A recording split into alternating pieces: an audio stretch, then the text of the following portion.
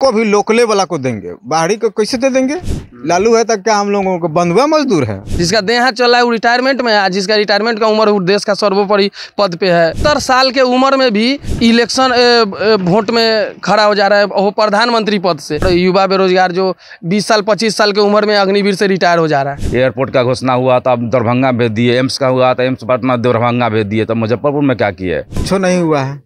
तो हम लोग किसी को वोट नहीं देंगे? ना देंगे नोटा दबाएँगे? कहाँ का आदमी हम लोग पहचानते भी नहीं ना कहियो देखे वोट उसको दे देंगे बताइए। ना पहचाने में ना करते हैं। पार्टी बेसिस हमारा कैंडिडेट बढ़िया होना चाहिए हम पार्टी को नहीं देखते हैं। क्या विकास हुआ है पच्चीस साल में? कोई विकास नहीं हुआ। है आज तक जीत के जाता है कहियो पलट के नहीं आता है तकने तक नहीं आता है। मोदी जी तक चार सौ पार कर रहे हैं नीतीश जी चार हज़ार पार कर रहे हैं। किसी भी पार्टी को हम लोग सपोर्ट करते हैं। अगर वो भी पार्टी अगर लोकल को नहीं लाते हैं तो हम लोग वोट नहीं करेंगे नोटा का बटन दबाएँगे। इन्हें रो, रोज़गार नहीं है परेशानी है खाने वाले महँगाई बढ़ गया। चाहे कितना पाला बदल लीजिए आपका तो परछाई पीछे आप ही के साथ चल रहा है। चेहरा छुपा लीजिएगा परछाईमा तो आपका रहबे ना करेगा साथ में। नामे से जानता है शकल से तो नहीं जानता है लोग, कि लोकल से हम मिल सकते हैं। बाहर वाले से तो भेटे नहीं होगा। हर लोग आता है, गंदगी कुछ दिन फैला लेता है, जब कुछ ज़रूरत से ज़्यादा महक जाता है तो पार्टी बदल लेता है। तो कांग्रेस में आए से वो अंदर के आत्मा थोड़े साफ़ हो गए जब तोर मन हो से तो पूरा दुनिया जाना ही था तोरा तक हर वोट न देता कोई। पार्टी विशेष पर जाएगा, जाति विशेष पर जाएगा, लेकिन अयोध्या वाला को वाजिब है कि वो अगर कहीं बीजेपी को दे दे। लेकिन बिहार में क्या हुआ है? हम लोग बिहारी है तो हम लोग बिहार के लिए जाने नहीं नहीं हुआ है। अच्छा काम हो अच्छा प्रत्याशी आए मुजफ्फरपुर में जो हम लोग को काम लगे।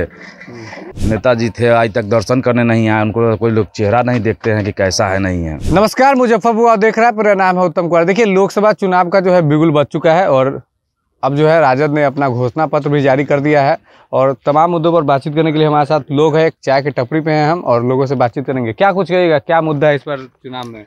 विकास मुद्दा रहता है हर बार चुनाव में। और क्या रहेगा? क्या विकास हुआ है आपके शहर में? कुछ नहीं हुआ है। तो हम लोग किसी को वोट नहीं देंगे? किसी को नहीं। ना देंगे। नोटा दबाएँगे? नोट? हम्म हम कैंडिडेट भी यहाँ कोई नहीं है हम लोगों के ढंग का। अब किसको किसको दिया है उसमें सुनते हैं ये है राजभर चौधरी है। राजभर चौधरी राजभर निषाद।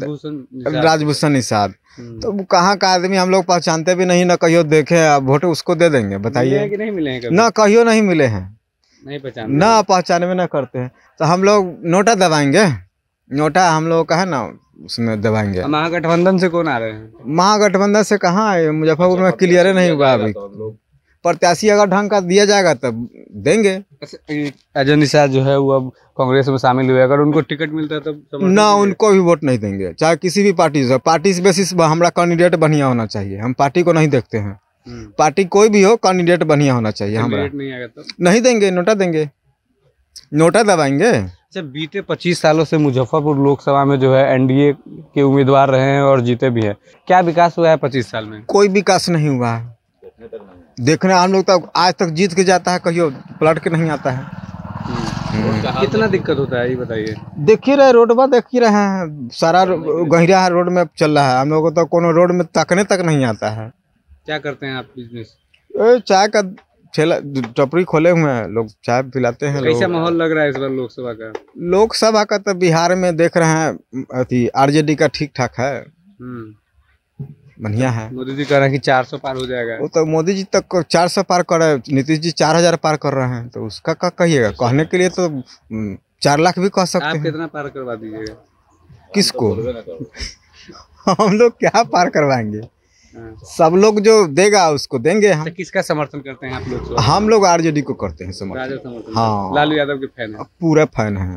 हाँ। तो उनका समर्थन कीजिएगा ना? जैसे हाँ। उनका प्रत्याशी कोई आएगा तो उसका तो हाँ, समर्थन को देंगे उनको देंगे।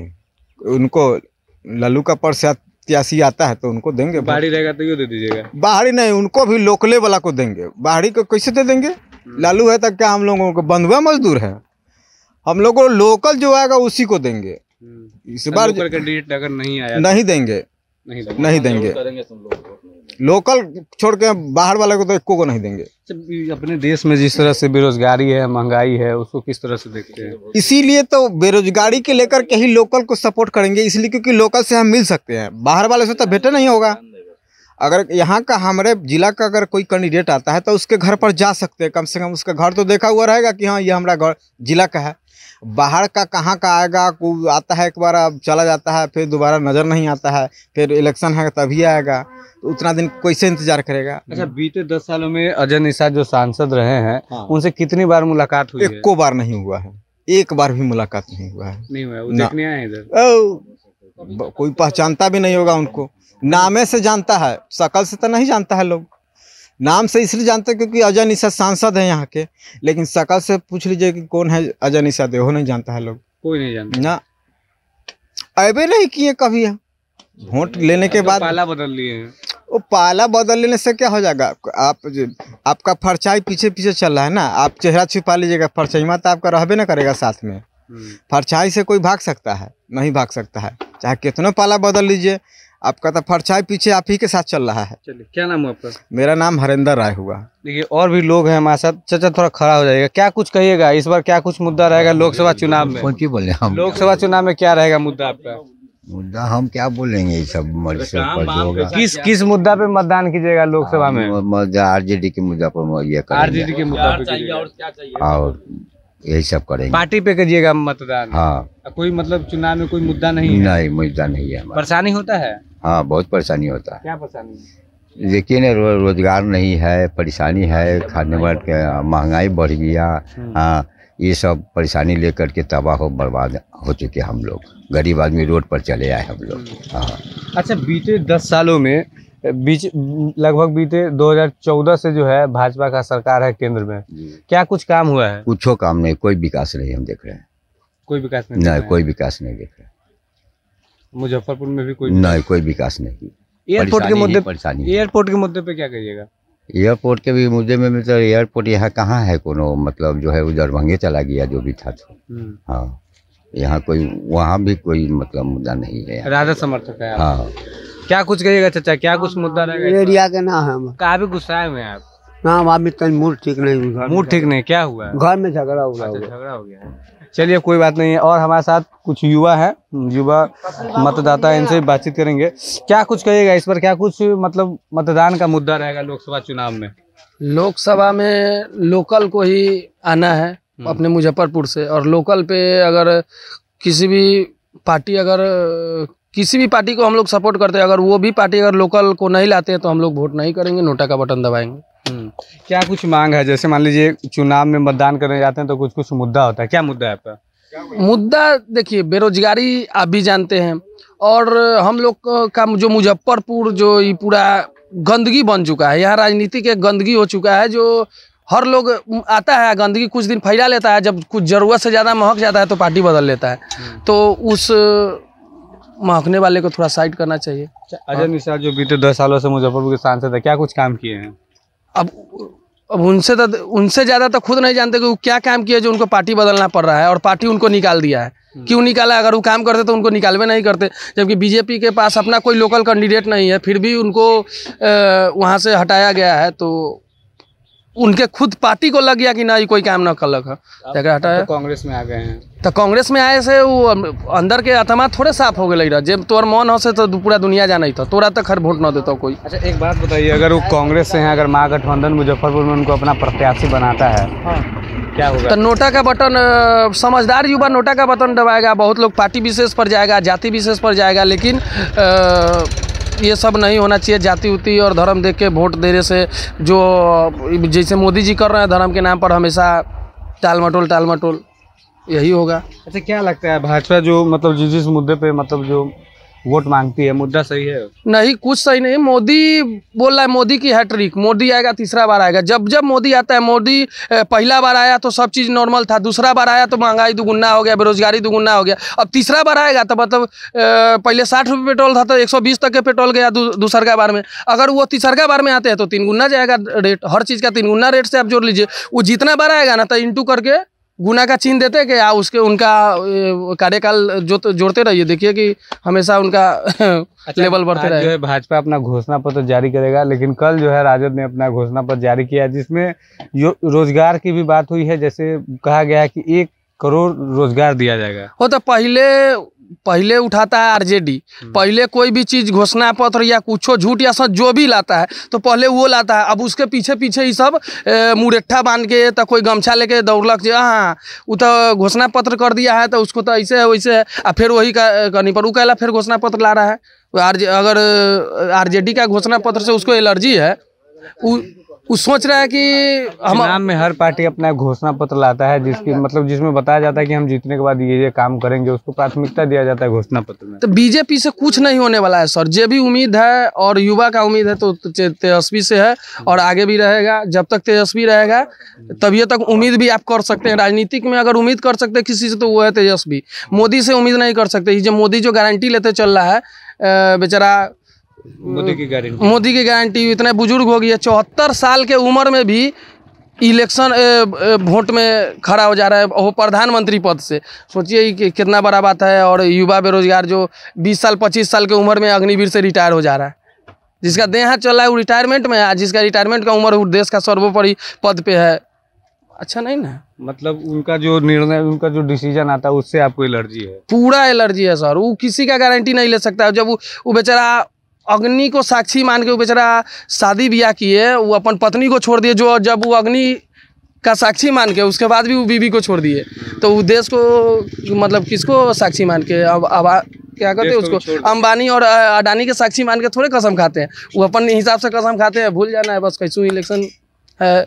अब को कभी हिंदू के नाम पर कभी मुस्लिम के नाम पर कभी कुछो के नाम पर कुछो के नाम पर ये सब मुद्दा नहीं होना चाहिए। मुद्दे की बात होना चाहिए जो मुद्दा क्या है? अच्छा भाजपा वालों तो भी बोला मतलब राम मंदिर मतलब बना है। बहुत राम मंदिर बनाया सीधे ढांचा खड़ा कर दिया अच्छा मंदिर अच्छा चीज़ है मंदिर को गलत नहीं कर रहे हैं लेकिन अयोध्या में ही राम मंदिर बना है। तो अयोध्या वाला को वाजिब है कि वो अगर कहीं बीजेपी को दे दे लेकिन बिहार में क्या हुआ है? हम लोग बिहारी है तो हम लोग बिहार के लिए जाने नहीं नहीं हुआ है। अपना एयरपोर्ट का क्या मुद्दा है? एयरपोर्ट तेजस्वी बोले हैं कि एयरपोर्ट मुजफ्फरपुर में भी बनाएँगे रक्सौल में बनाएँगे तब ये सब फिर पीछे पीछे दौड़े फिर आएँगे वो वो चैलेंज करेंगे कि ना अब हम फिर बनाएँगे। यही सब होगा लेकिन बोलेंगे लेकिन तेजस्वी ही बनाएगा। जब भी अगर विकास करेगा तेजस्वी एक उम्मीद है। बिहार का उम्मीद और युवा का उम्मीद है तेजस्वी और जब तक ये रहेगा तब तक युवा का भी उम्मीद जीता रहेगा जगता रहेगा बस। चलिए क्या नाम है आपका? सुजीत कुमार।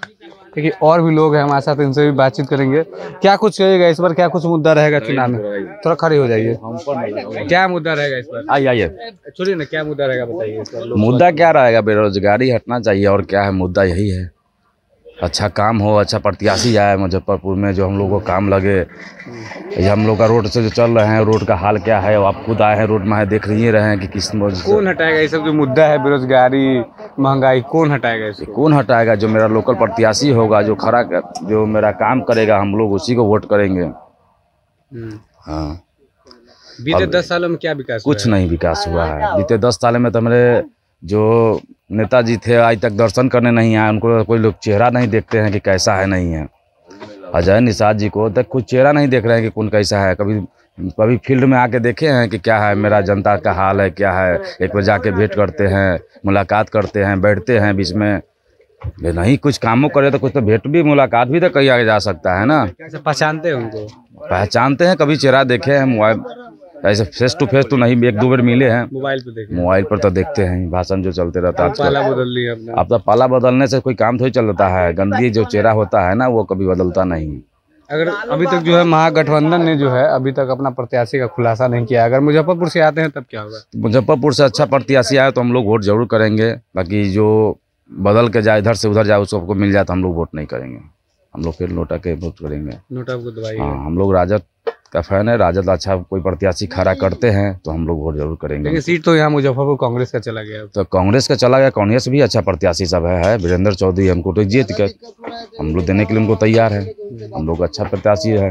अगर विजेंद्र चौधरी को टिकट मिलता है तब तो हम लोग आराम से वोट करेंगे हम लोग को। उससे अच्छा प्रत्याशी हम लोग को मुजफ्फरपुर में कोई नहीं है। जो अभी आज खुद देख रहे हैं कि अभी अपना पद पर होते हुए अच्छा कितना अच्छा काम कर रहे हैं। शहर का भी क्या विकास हुई है अब देख लिए। दस साल पहले इससे पहले विकास आप देख ही रहे थे। कौन थे इनसे पहले? ए, क्या नाम था? नहीं नहीं नहीं नहीं ये सुरेश शर्मा। दस साल रहे खाली कुछ नहीं किए। मेरा एयरपोर्ट यहाँ से आप दरभंगा भेज दिए। आप कह रहे हैं कि हम एयरपोर्ट मुजफ्फरपुर में खोलेंगे। आप जैसे पहले पहले एयरपोर्ट का घोषणा हुआ तो क्यों नहीं खोले? अब बीजेपी वाले बोल रहे हैं कि एयरपोर्ट हम मुजफ्फरपुर में इससे पहले मुजफ्फरपुर में भी एयरपोर्ट का घोषणा हुआ था अब दरभंगा भेज दिए एम्स का हुआ था एम्स पटना दरभंगा भेज दिए। तब मुजफ्फरपुर में क्या किए दोनों चीज़ तो मुजफ्फरपुर के लिए आया था तब पटना क्यों दरभंगा क्यों भेज दिए नहीं भेजना चाहिए ना तो आप तो काम अच्छा करते तो यहीं करते ना एयरपोर्ट खोल देते एम्स खोल देते तब ना लगता है कि हाँ आपने ये चौदह काम में कहा गया था कि एयरपोर्ट हाँ, एयरपोर्ट चालू हो जाएगा आपने दरभंगा भेज दिया यहाँ एम्स का एम्स खुलने वाला था वही दरभंगा भेज दिए तो आप मुजफ्फरपुर में क्या छोड़े हैं? तो विकास क्या किए आपने? दस साल खाली बर्बादी किए इधर से इधर किए अपना बनाए बस हो गया। क्षेत्रीय लोगों के लिए कोई काम कुछ नहीं। काम किया सिर्फ़ अपना बनाए। अपना बनाए दस चार गो शोरूम खोल लिए और क्या किए? यही है। आप बीजेपी लोग पर टैक्स थोड़ी इनकम टैक्स मार सकते हैं कि क्या किए वो लोग को कहेगा दो चोर है राजद चोर है राजद का प्रत्याशी चोर है। तो इन लोग को क्या है? कभी इन लोग को भी तो छापा मार के देखिए ना कि कहाँ से इतना रुपया आया खाली अपना बनाए इतना शोरूम खोले। कभी देखे कहाँ से ब्लैक मनी आया? है काफ़ी परेशानी है। अरे बहुत परेशानी है। लोग खाली अपने पेट भरता है ना। जनता का पेट थोड़ी भरता है। जनता को तो कुछ देखो नहीं जाता। जनता क्या है? जनता को थोड़ा सुविधा भी दे दीजिए तो काफ़ी रहे।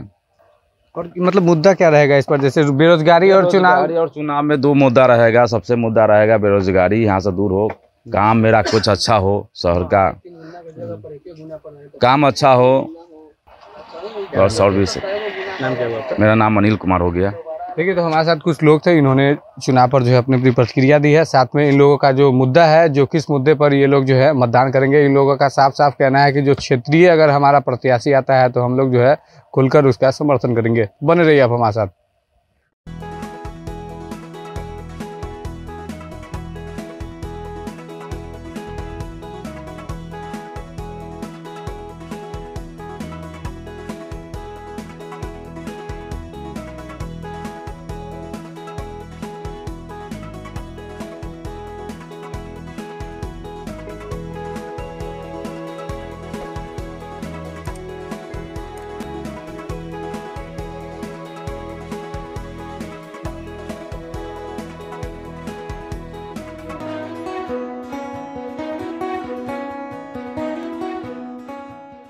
अपने सपनों के आशिया को दे एक नई पहचान माँ भवानी डेकोर प्राइवेट लिमिटेड के साथ जो है ऑथोराइज डिस्ट्रीब्यूटर ऑफ़ कचारिया देश की मिट्टी से बनी टाइल से देश को बनाते हैं और जहाँ मिलती है सभी प्रकार के Indian and imported granite marble sanitary एवं कोटा स्टोन का अनोखा एवं आकर्षक संग्रह। माँ भवानी डेकोर प्राइवेट लिमिटेड मतलब a complete floor solution new zero mile Dadar road Muzaffarpur call double nine three four seven five three triple one